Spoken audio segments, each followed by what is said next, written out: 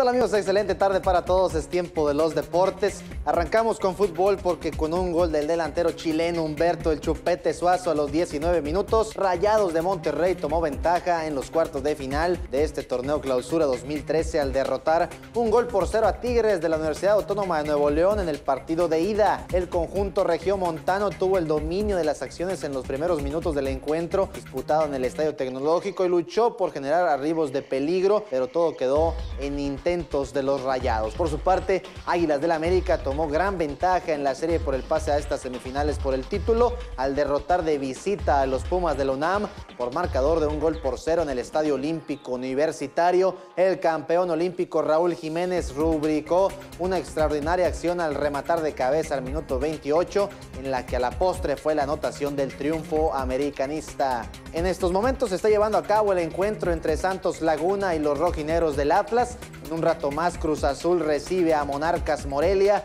Recuerda todos los resultados en unirradioinforma.com, sección deportes. Vámonos al béisbol con una gran labor de la loma de los disparos de Oscar Rivera en siete entradas completas. Todos los de Tijuana se llevan el segundo de la serie ante cerveceros de Tecate por pizarra de seis carreras a uno en el estadio Manuel Ceseña.